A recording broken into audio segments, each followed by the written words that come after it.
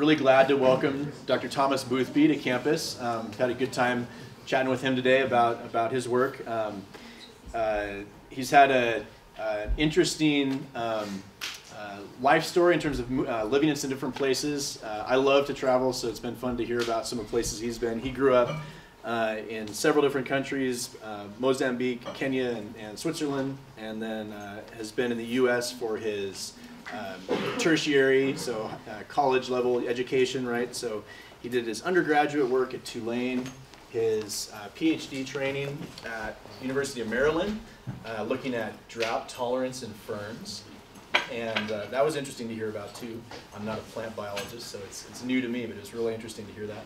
Um, postgrad or postdoc work at North Carolina, and now he's uh, uh, a new faculty member at the University of Wyoming in Laramie. So he's moving closer to us on the in the Mountain West a little bit. And uh, one of the places he's been that I'd really like to go is Antarctica, and that sounds like a really fun place to visit also. So. Um, uh, I don't want to take up any more of his time, so let's welcome Dr. Boothby. All right, well, yeah, thanks very much for the introduction.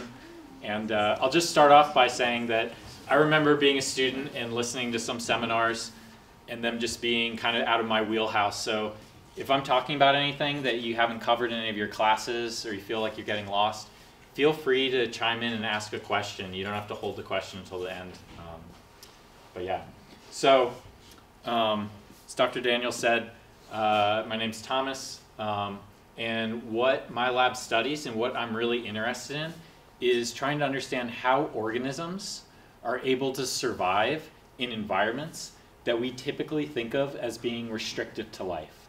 So, experiencing stresses in environments that are so harsh that even purified biological molecules like DNA and proteins and membranes can't tolerate those conditions.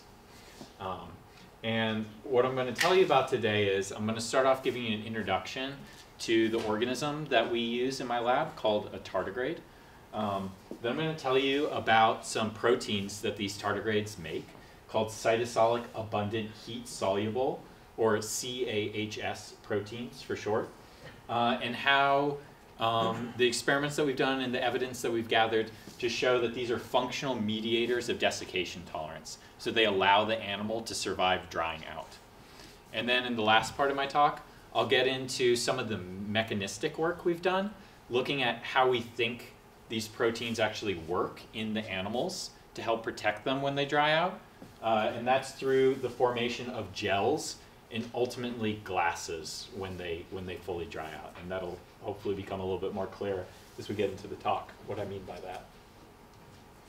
So to start off, maybe you saw this word on the title of my slide and had no idea what I was talking about, but a tardigrade, or a water bear as they're commonly called, are these little tiny microscopic animals. Um, they're so small that you need a microscope to see them. But if you look at them under a microscope, what you'll see is these little creatures that kind of resemble chubby little eight-legged gummy bears. Um, and uh, so, yeah, this, this, is what they look like. Um, they're an ancient group, so they evolved at least 250 million years ago during the Cambrian period. As I mentioned before, they're small, so different species range in size from about 50 microns up to a millimeter. Um, they're a diverse group of animals, so we know of at least 1,200 species that are alive today. And honestly, that's probably just the tip of the iceberg. Whenever we go out looking for species that we know of, we usually find new ones. Um, and then evolutionarily, tardigrades, uh, they make up a phylum unto themselves, so a group of animals unto themselves, the phylum Tardigrada. But this, this phylum is placed within a larger group of animals that you may have uh, may be more familiar with, um, called Ecdysozoa. And Ecdysozoa contains some better known animals like arthropods. So like the fruit fly Drosophila is, a, is an arthropod. Or uh, nematode worms like C. elegans. So for comparative studies, tardigrades are really, really great because, um, you know, evolutionarily, they're sort of sandwiched between these two really well-developed genetic invertebrate developmental systems. Now, you may have never seen a tardigrade before, That's not because they're rare. You can actually find them everywhere. They've been found on every continent, including Antarctica. Uh, and they live in almost any sort of uh, biome. So tardigrades live in hot, dry places like deserts, cold places like the tundra or Antarctica. Um, they're marine species. Um, there are species that have been found in the forest, uh, in places with lots of geothermal activity, um, on the tops of mountains. But you can even just go in your backyard, and if you have a microscope, uh, you can find them in your backyard. They're living back there. So, what's probably given tardigrades the ability to colonize all these diverse ecosystems is the fact that they are extreme survivors. So tardigrades can survive a number of environmental extremes that we typically think of as being incompatible with life. So I already mentioned that tardigrades can survive desiccation or drying out. Um, and what that means is basically they can lose all the water inside their bodies and cells and yet remain viable. They can stay alive. And when they do that, they go from looking like these little chubby eight-legged gummy bear things to pulling in their eight legs and head inside their cuticle or exoskeleton and they curl up and form this little ball-like structure called a tun t-u-n and that comes from the german for uh, a barrel or a cask. So they kind of like curl up in this little barrel-like shape. And in this dry little tun state they become ametabolic, so all their life processes basically shut down, and they can remain like that in this ametabolic state for years and in some cases decades. But if you put them back in water, within an hour or so, they'll be running around in their dish, eating, reproducing, like nothing happened to them. So that's really amazing, I think. Um, but what I think is even more amazing is that tardigrades don't just survive desiccation, but they can survive a number of other extremes. Um, so tardigrades are known to survive extremes in temperature, so they can survive being frozen. These are kind of like the world records for tardigrades. So there's been a species that's been frozen down to negative 272 degrees C. That's about a degree above absolute zero, the temperature at which all molecular motion stops. So it's uh, a degree away from as cold as you can be. Um, other, other species have been shown to survive temperatures well above the boiling point of water. Um, there are species that can survive massive amounts of radiation, so thousands of times as much uh, exposure to radiation as we could survive. Tardigrades can go for days or weeks with little or no oxygen. They're actually the only animal that we know of that can survive prolonged exposure to the vacuum of outer space. So back in 2010, there was a European Space Agency mission where they used this Russian capsule. And this capsule orbited the Earth in low Earth orbit for 10 days. And there were tardigrades stuck outside of the capsule. And so they were exposed to the vacuum and solar radiation of outer space for 10 days. When they recovered the samples, they found that most of the adults survived. Those adults could give birth to offspring. The offspring were fine, they could have offspring. And to this day, there's a lab in Sweden that's still propagating the progeny of these space flown animals. So, despite being some of the smallest animals that we know of, tardigrades are extremely hardy and robust. And the question that my lab essentially tries to answer is the question of how. How are these animals able to survive all these different stresses? Um, and for me, what that means is identifying the molecules that mediate these stress tolerances.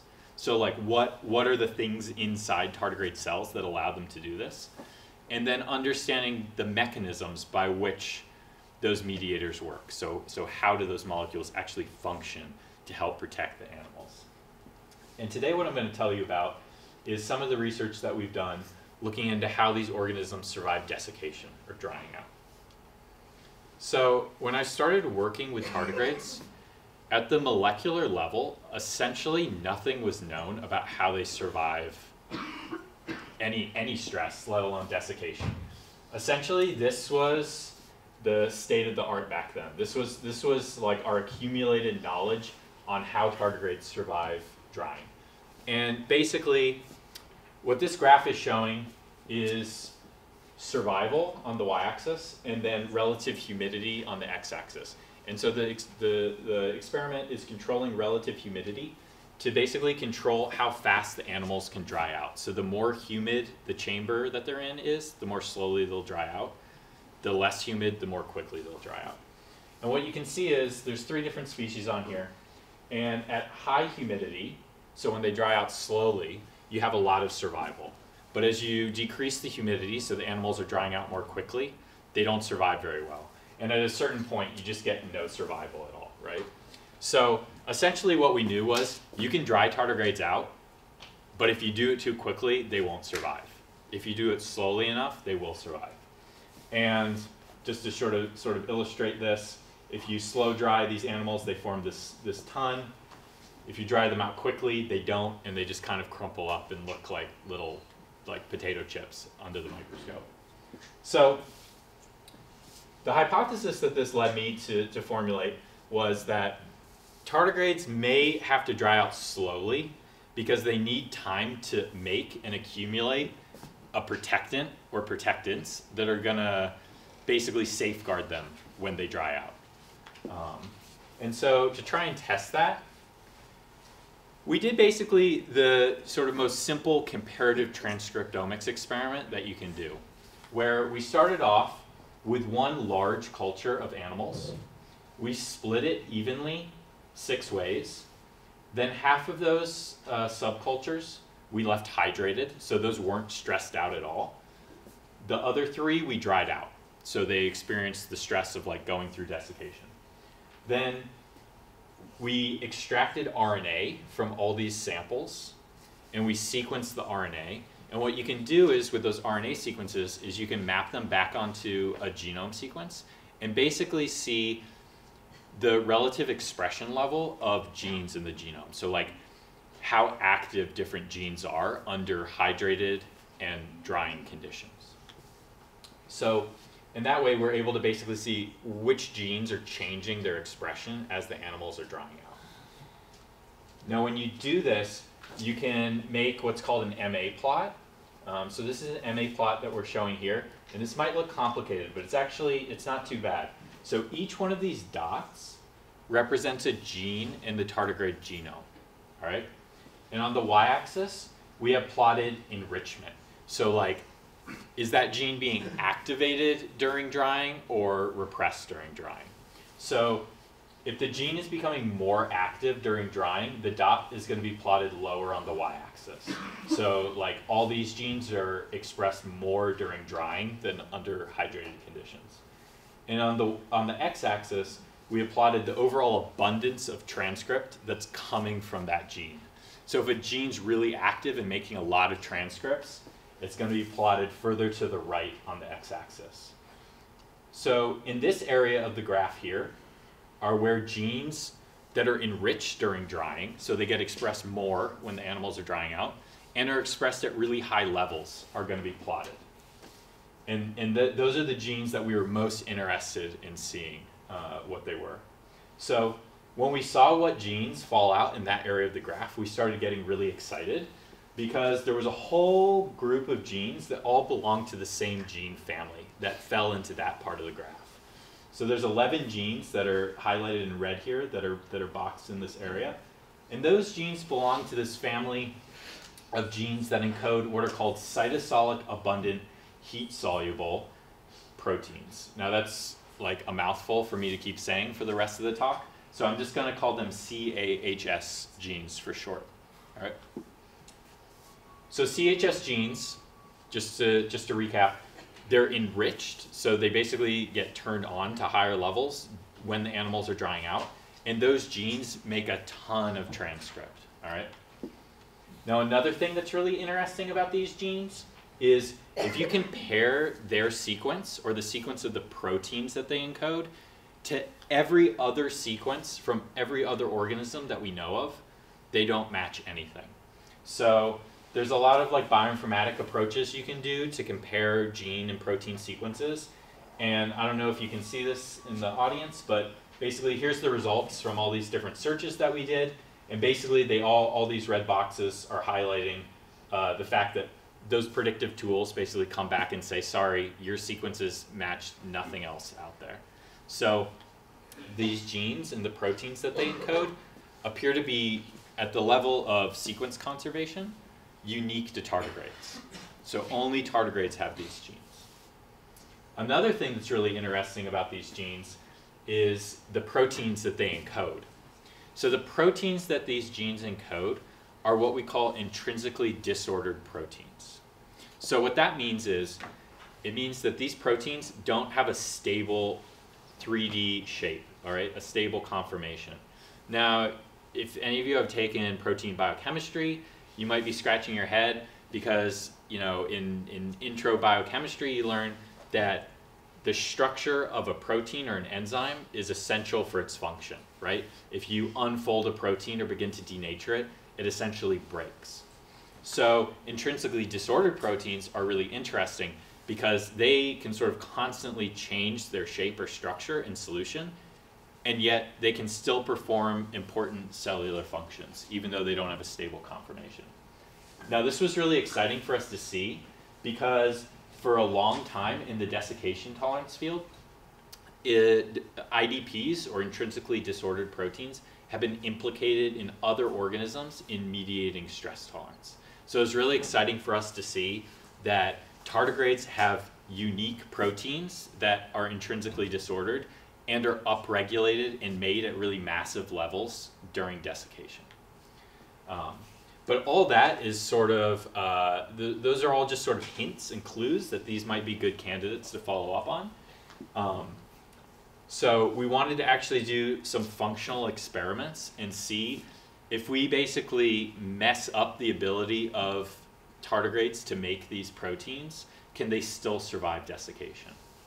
So in tardigrades, we can use a technique called RNA interference, which some of you may have not encountered that yet in your courses, but basically you can target specific RNAs for destruction. So if, if there's a gene that you want to basically like turn down the levels of its expression, you can use RNA interference to destroy the transcripts that are coming from it. So we do that by making these little tiny glass needles and loading them with our RNA interference um, cocktail that we then inject directly into the animals using a microinjector. So here on this graph, what I'm showing you is survival of the animals. Um, in green is a GFP control. So in, in that case, we're targeting GFP for destruction, green fluorescent protein. But these animals don't make GFP, so it's just kind of like a mock injection to make sure we're not just killing them because we're injecting them. Uh, then we targeted four different CHS genes. And in this experiment, um, we did the RNA interference, but we didn't dry the animals out. We left them hydrated. So we wanted to see if they needed these genes to be functional just to survive under normal non-stress conditions.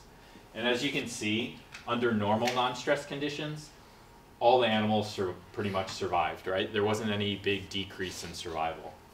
However, if we do the same experiment where we inject the animals with the RNA interference cocktail and then we dry them out and rehydrate them and score survival to see, see uh, what proportion of the animals survive, what you can see is in our, in our mock injection, we get about 80% of the animals surviving. But in some of our uh, experiments where we targeted these CHS genes, we got severely uh, decreased levels of survival. So, you know, in the most severe cases, we're going from about 80% survival in our controls down to around 12% survival in the most severe knockdowns.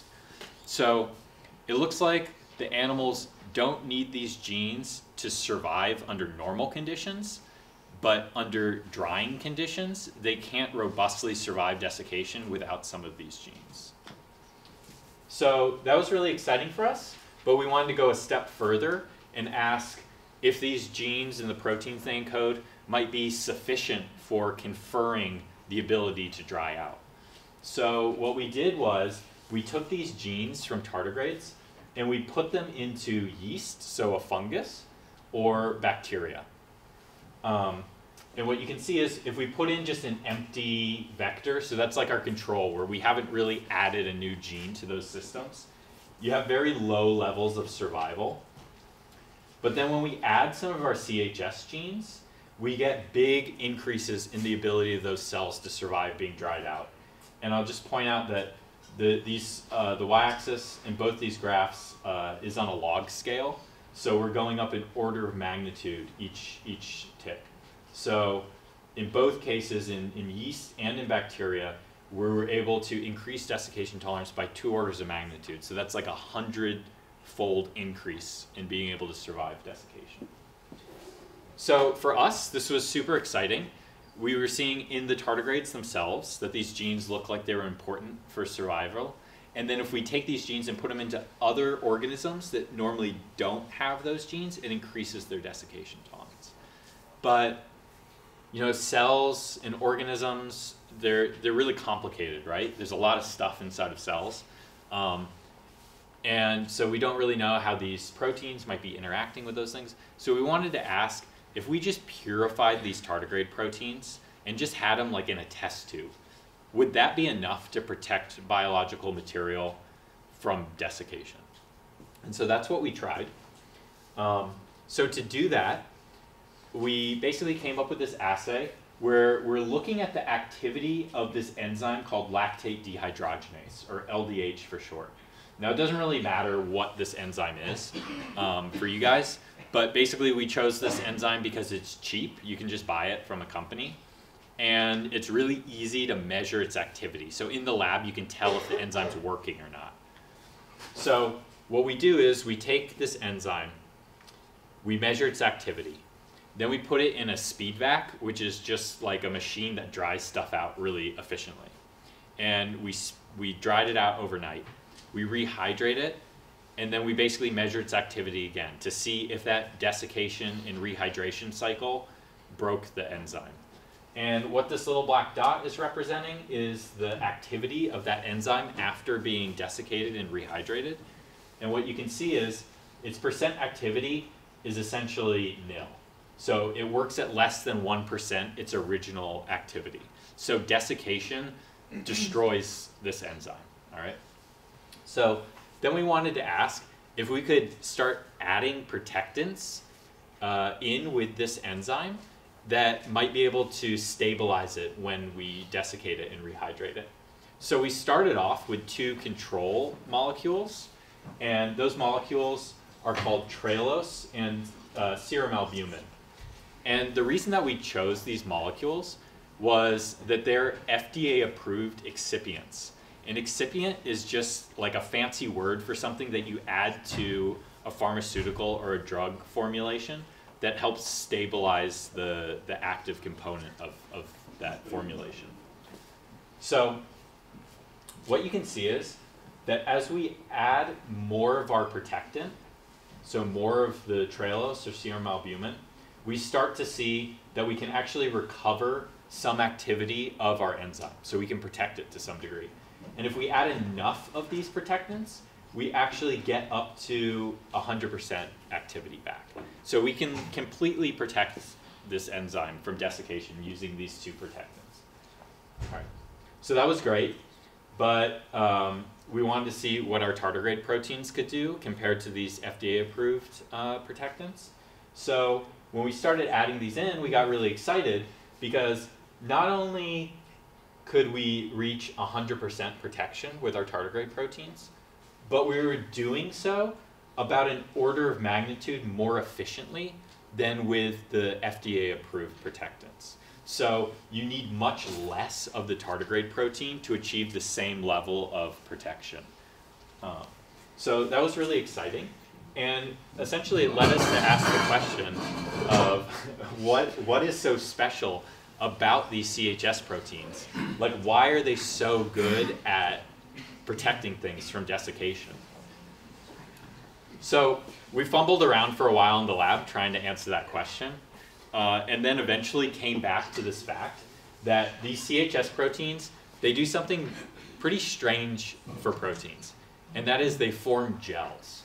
So most proteins, basically when you get them at high concentration, they tend to sort of start sticking together and forming like clumpy aggregates that will just like fall out of solution. Pardon? I'll flip the lights. Oh, yeah, great. So as opposed to forming these sort of clumpy aggregates, uh, these proteins actually form gel. So they like they basically turn into jello. And what what we're showing here on the left uh, is an assay that an undergrad in the lab Akash came up with that he calls the flip test. Uh, and this was just like a quick, easy assay that he came up with to see if, if proteins he was working with would form gels or not. So what he does is he takes bacteria that have basically been engineered to express our proteins. Um, he grows up those bacteria and he puts them in these little glass test tubes. Then he adds this dye called Coomassie, which is this blue dye, and he adds it just so when we take a picture, you can basically see the proteins. Um, he then takes that solution and he sonicates it, which basically bursts open the bacterial cells, and that causes everything inside the cells to like spill out into the bottom of these tubes, including all of our protein that we engineered them to make. Then he flips the tubes over and basically sees did those proteins make gels or not? And if they do make gels, they'll get stuck in the bottom of the tube and not leak out. Um, so that's what these first five tubes are showing. Those are all um, different bacterial strains expressing different CHS proteins from tardigrades. And this last tube here is uh, a bacterial strain expressing this, this protein called alpha-synuclein, which is it's just a control protein that we used. It's another disordered protein, but it's one that has no connection with desiccation tolerance. And what you can see is that that solution did not gel and just basically ran out the bottom of the tube. Um, we can also look at these gels under an electron microscope. So that's what you're looking at over here on the right side. So we looked at some control proteins. So lysozyme is a very well studied globular protein. So it's not disordered. It has a well ordered structure. If you denature that protein or unfold it, it doesn't work well anymore. And what you can see is when you get lysozyme at high concentration, it just sort of starts forming these like clumps basically. Now, if you look at gelatin under a, an electron microscope, so gelatin is the protein component of jello, so it forms a gel what you can see is instead of forming these like clumps or aggregates, it forms these kind of web-like networks. And that's really characteristic of a gel. So you have these kind of fibers and pores that make up the gel. And with our CHS proteins here on the right, what you can see, this is just showing two different magnifications. They also form these reticular or web-like networks that are characteristic of gels. Um, now this next slide uh, looks complicated. But this is basically um, just a technique, uh, a physical chemistry technique called cone plate rheometry. None of that matters. What, what matters here is basically when you, when you use cone plate rheometry, you can use that to measure when a material has become a gel or if it is a gel. and so the blue line is basically showing uh, the elastic component, like how elastic a material is and the red line is showing how viscous uh, a material is.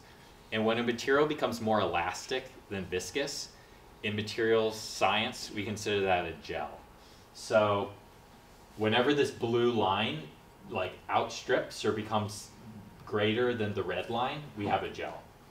And the whole point of this is basically to show that the more of this, these tardigrade proteins that you have together, the greater their concentration, the faster the gel will form and the stronger the gel will be.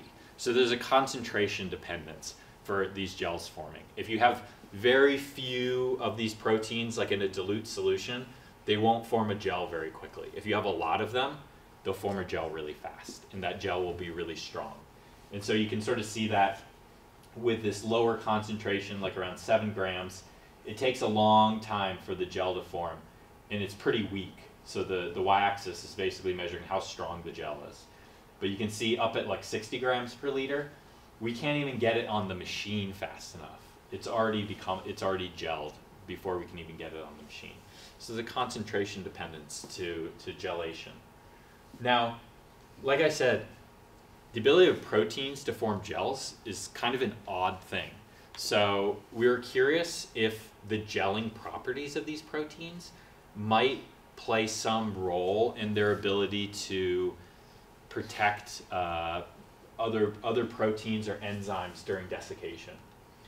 And so one thing that happens during desiccation to desiccation sensitive proteins is that as water is lost, a lot of proteins have hydrophobic cores. So they have hydrophobic residues that basically want to get away from water. So that's like a major driving force for a lot of protein folding is the protein kind of folds up and tries to like hide all those hydrophobic cores inside of the protein. So as water is lost, there's not this huge drive to hide those hydrophobic residues. So the protein can start to denature. And when it begins to denature, those hydrophobic residues are exposed and they'll, if they encounter other hydrophobic residues, they'll interact. And then you can get these, these aggregates forming. So we were curious if this gel state that, that our tardigrade proteins adopt might be able to help stabilize proteins in their proper folded conformation before they are able to denature and, and aggregate together. And to do that, uh, we basically came up with this assay where we can look directly at the folded state of this protein called SH3. And so SH3 is a really interesting protein because it's what we call a metastable protein. And what that means is that in solution, it can exist as a folded, in a folded state or in an unfolded state. And it can sort of go back and forth between those two states in solution. So if we label this protein uh, in, a, in a special way that allows us to use NMR, um, we can essentially measure the folded species and the unfolded species. So that's what we did. We looked at SH3 just by itself using NMR, and as one would expect, you have some of the protein that's folded and some of the protein that's unfolded. Then what we did was we spiked in, so we added in some of our tardigrade proteins uh, at a sufficient concentration to form a gel. And what we see is that that unfolded species of protein disappeared and there was a corresponding increase in the folded species. So the unfolded protein either got pushed into a folded state or the folded protein, once it folded up, basically got locked in that state, or potentially both.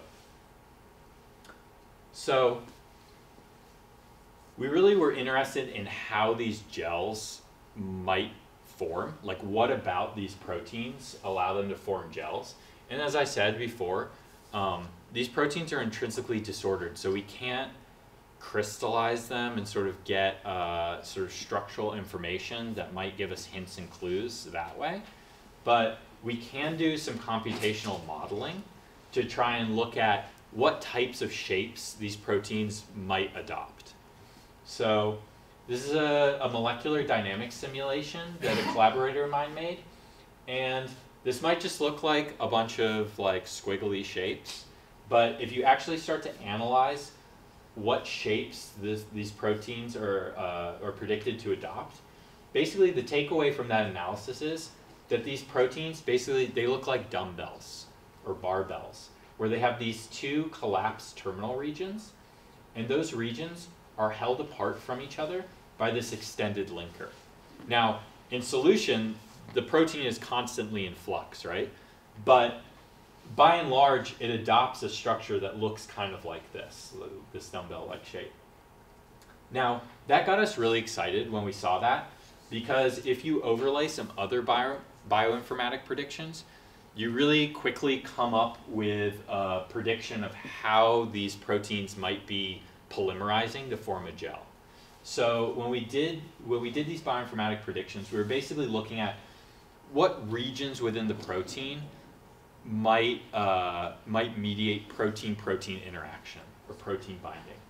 And what we found was, so these blue regions highlighted here are binding regions. By and large, they fall into these collapsed terminal regions.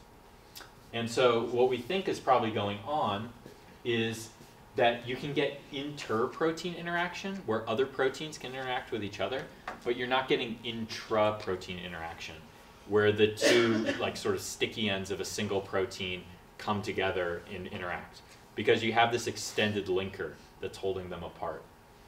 So in dilute solution, when you don't have a lot of these proteins around, we think that essentially you have these sort of sticky, sticky ends that are able to mediate protein-protein um, interaction.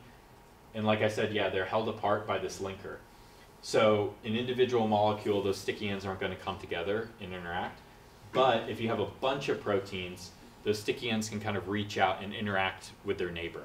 And in that way, you could start building up this sort of web-like gel network. So we can test that hypothesis. And to do that, we essentially broke down our protein into to three different regions. We had the N-terminal sticky region, highlighted in red. We had the extended linker that's highlighted in pink here. And then the C-terminal sticky region uh, highlighted in, in blue. So the wild type protein has an N-terminal region, a linker, and a C-terminal region.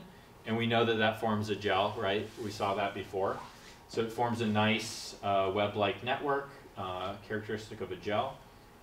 If we express any sort of of these like chopped up parts of the protein, so if we just express the N-terminus with the linker, the linker with the C-terminus, just the N-terminal region by itself, just the linker by itself, or just the C-terminal region by itself, those parts of the protein by themselves cannot form a gel. So we didn't get any gels forming. We can swap uh, the regions back and forth. So we can replace the N-terminal sticky region with a C-terminal region, or vice versa, replace the C-terminal with the N-terminal region. And those will form gels. So it seems like as long as we keep that dumbbell-like structure intact, we get these, these uh, web-like networks forming. And then we can also play with the length of the linker. Um, and as long as we keep that linker long enough that those two collapsed terminal regions can't come together and interact, we still get gels forming. But if we make it, if we make that linker too short, instead of getting these nice web-like networks, we start getting much clumpier uh, sort of solids forming. So why is all this important? So beyond this sort of stabilizing potential that we saw the gel had on protein folding, one thing that was really intriguing about seeing a gel forming was the fact that gels are basically amorphous solids. So like those, those sort of web-like networks that I was showing, they didn't really seem to have a really well-defined structure, right? They looked a little random. Um, now, the consequence of that what we predicted was when those gels dried out, instead of forming crystals, which have really well-defined molecular structures, they would form what we call vitrified or glass-like solids. Now, why that's important? There, there's two main reasons. The first is that crystals are really bad things to have inside of cells. So crystals are sharp and pointy, and if you have a bunch of crystals inside of cells, they can puncture membranes or you know, damage proteins, shred up DNA. Whereas a vitrified solid or glass-like solid has a much more amorphous molecular structure. It's much less regimented in, in its molecular structure.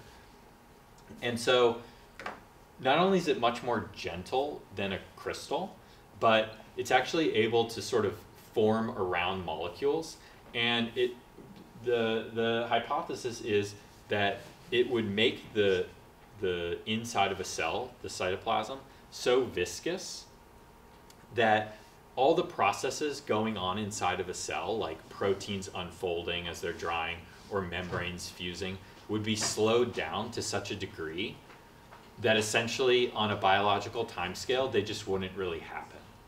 Um, so you're basically slowing down all the damage that's being incurred. Um, and we wanted to essentially look and see if we could measure or detect the presence of vitrified solids versus crystalline solids. And to do that, we can use a technique called differential scanning calorimetry. And basically, using this technique, you heat up your sample to, you know, a certain point, and, and at a certain point, different materials will go through different phase transitions. So if you have a vitrified solid, it'll go through what's called a glass transition. That's where a glass-like solid is actually breaking down and becoming more like a rubbery solid. And with differential scanning calorimetry, uh, you produce these thermograms, and this sort of step-like thermogram is very characteristic of a glass breaking down. So if you see kind of a, a thermogram that takes a step like that, it probably means that there was some sort of glass-like material there that broke down. So in this first, uh, first uh, thermogram, what we're showing is we're showing two different populations of tardigrades that we stuck in a DSC. The first were what we call preconditioned animals. So these are animals that when we dried them out, we dried them out slowly. So they had time to accumulate these protectants. And what you can see is they have this nice step-like thermogram indicating that they have some material inside of them that vitrified. It turned into a, a, a glass-like solid as opposed to a crystalline solid. The blue line here is a thermogram for non-conditioned animals. So those are animals that we dried out really fast, so they didn't have time to accumulate protectants. And what you can see is they don't have this glass-like material. So the tardigrades, when they're drying out, they're making some material, a lot of some material that's going to allow them to to form a glass instead of a crystal. Yeah. Is there a time frame associated with your definition of quickly, or is it just the percent humidity? Yeah. So when we dry the animals out, um, we to precondition them. We initially start them out drying for 16 hours at 95% relative humidity. And after that, they've sort of been like exposed to the fact that they are going to dry out. After that, you can dry them out really quickly. So after that, we take them out, we just put them in a desiccating chamber and they dry out really quickly and we leave them in there for 24 hours. Um, but they probably dry out in like an hour or so after we, we switch them. So that first 16 hours, like overnight, sort of precondition, makes basically allows them to get protectants, accumulate protectants that make them sufficient to survive subsequent drying. So then, if we take purified CHS proteins, so these this is just the protein in a test tube now, um, and we dry those out and look at them by differential scanning calorimetry, we see that those those proteins also have a glass transition. And probably most compelling, if we put those if we put our tardigrade proteins into yeast that normally do not have them, we see a novel glass forming. So these top three lines here, these top three thermograms here, are yeasts that are not expressing our proteins. And you can see they, they don't have a, a strong glass transition here. But when we, when we put in our tardigrade proteins, you see a novel glass transition forming. So the question then is like, who really cares? Like tardigrades are making this glassy stuff when they dry out, but is it actually helping to protect them? So luckily we can begin to try and test that by heating dried animals up to their glass transition temperature and seeing at the temperature at which that material that's vitrified starts to break down and become more rubbery, do they lose their ability to survive in a dry state? So just as a control, in blue here, we have uh, animals that were hydrated, so they never had a chance to make these vitrified solids. Um, and if we heat them up, they die quite quickly, right? So we don't see any survivors after around like heating to about 38 degrees. Um, there's no, no animals that survive. But if we dry them out, so we desiccate them in black here, you can see they survive heating quite well up to their glass transition temperature, which is highlighted by this gray bar here. As we approach the glass transition temperature, we start to see a decrease in survival. And once you heat the animals past the point where the glassiness of that material has broken down, we don't see any survivors. And we see the same thing in yeast expressing our tardigrade proteins, where they survive quite well up to the glass transition temperature, shown in gray here by this bar. Then as they're going through that glass transition, their survival decreases quite a bit, quite dramatically. And then beyond the glass transition temperature point, where all that glassy material is now a rubbery material, we don't see any of those animals surviving in a dry state. So that's correlative, but it starts to give us some clues at least that being in a vitrified state is important for these animals and, and engineered cells surviving desiccation. So to kind of summarize what we think is happening, in normal cells, um, you have desiccation sensitive proteins. As water is lost, they begin to denature. That exposes their hydrophobic cores, which ultimately can lead to non-functional aggregates forming. In tardigrade cells, you also have desiccation sensitive proteins, but in addition, you have these dumbbell-like CHS proteins. Now, as water is lost, not only uh, you know, is the solvent leaving, so those tardigrade proteins become more concentrated, but the animals actually upregulate expression of the genes. So they just make a lot of these tardigrade proteins. And at some critical concentration, those tardigrade uh, CHS proteins start to polymerize and they form these gel-like networks. Now inside the pores of these gels, you have the desiccation sensitive proteins, they get trapped in there. And we think that that actually helps keep them from unfolding. And then upon complete desiccation, instead of forming crystals, which would crush all those sensitive proteins that are sort of trapped in the pores, the tardigrade intrinsically disordered proteins form glasses, which have a much more amorphous structure that are able to more gently encapsulate um, these proteins and prevent them from, from unfolding and, and aggregating further. And then what I think is probably the most sort of amazing part of, of this uh, whole sort of cycle, which we haven't really started studying yet, is that when you add water back to the system, those tardigrade proteins, they resolvate, so they go back into solution really fast. And so you have all these sensitive proteins that were protected inside that matrix getting released back into the cytosol of the cells where they can perform their proper functions. Um, so what I told you today, I told you about these proteins called CHS proteins and showed you some evidence that the animals, the tardigrades themselves, need those proteins to survive drying out.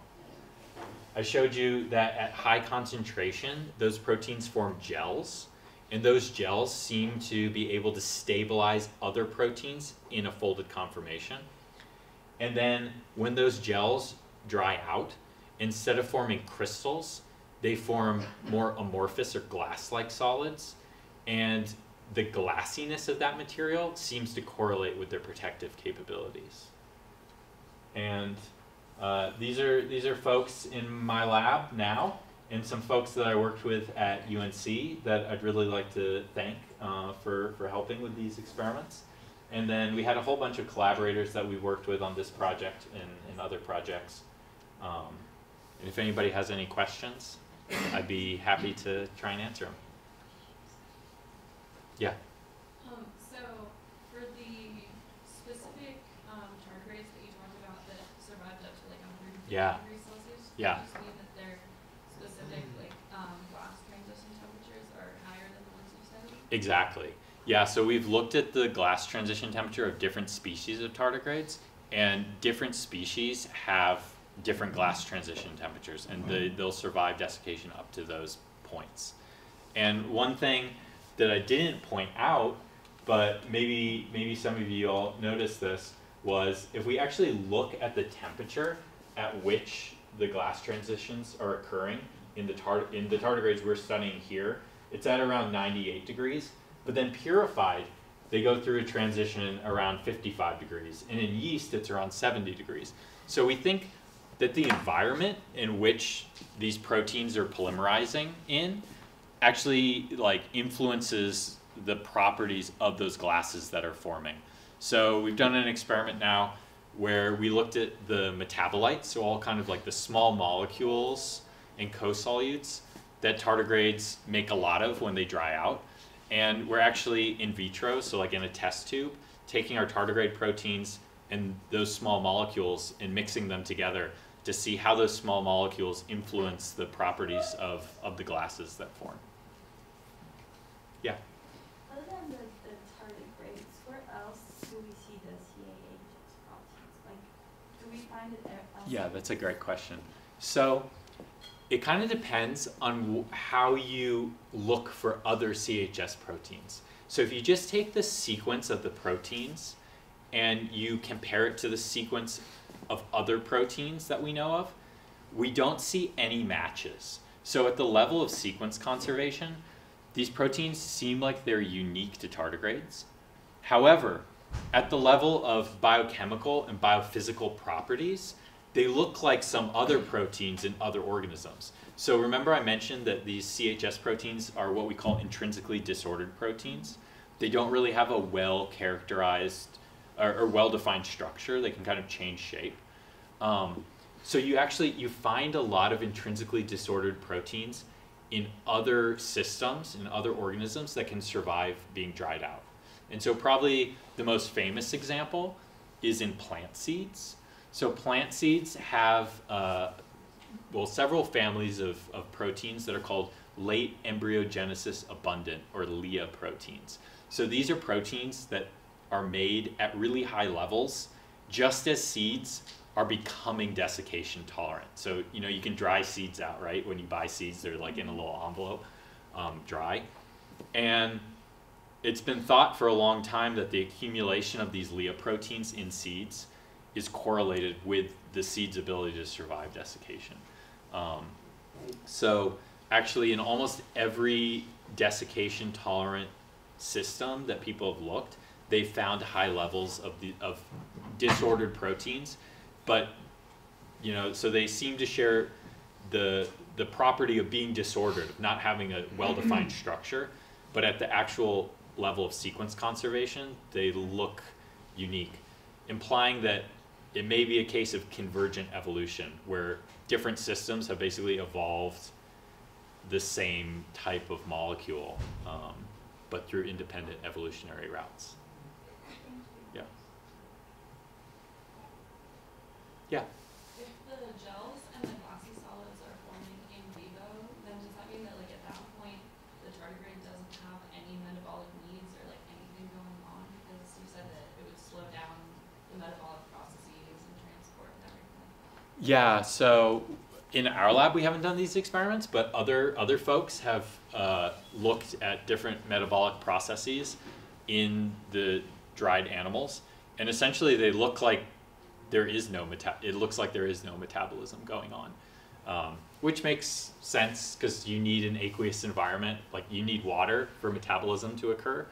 Um, so yeah, essentially. I, I think in that tun state, the animals basically curl up in a little ball, which the insides of their cells essentially just turn into glass, which locks, you know, all the molecules and stuff in place.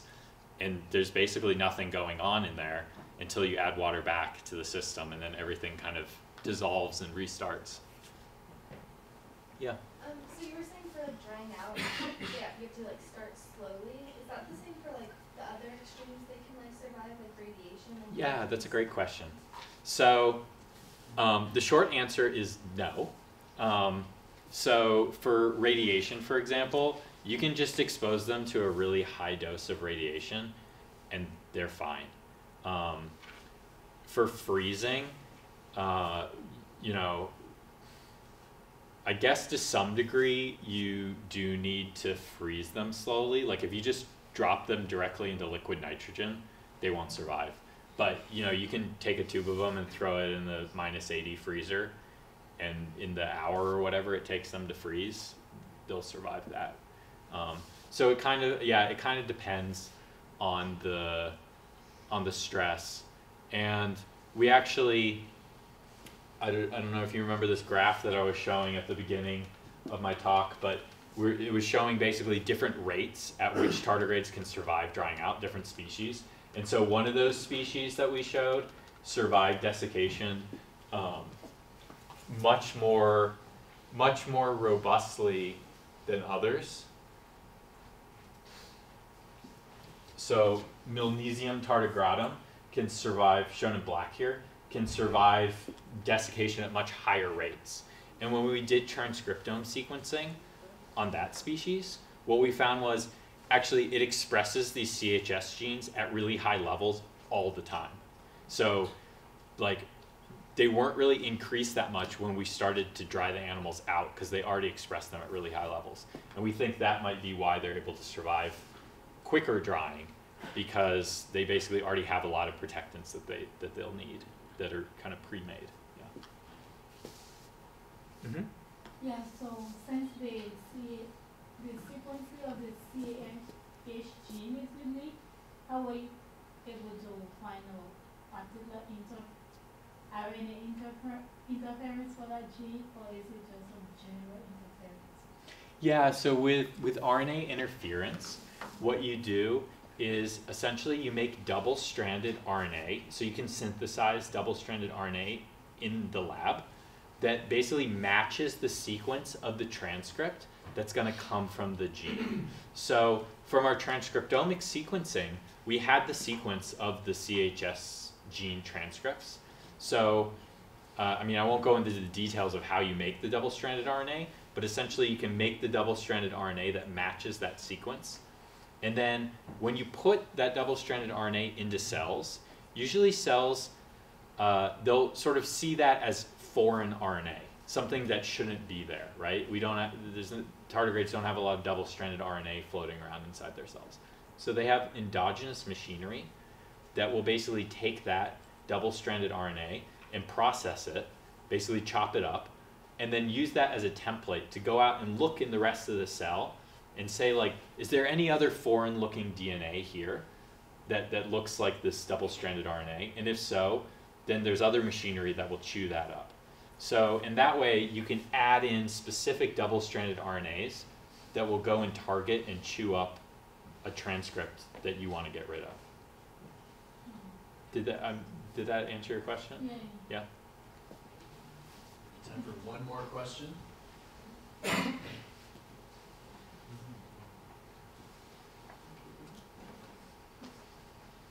Anybody else? Yeah.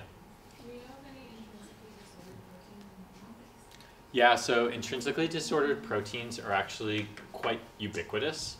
Like, so essentially any living thing that you look at, they're intrinsically disordered proteins. Um, so yeah, so we have a lot of intrinsically disordered proteins, and in humans, um, there's been uh, you know quite a number of studies that have been done now.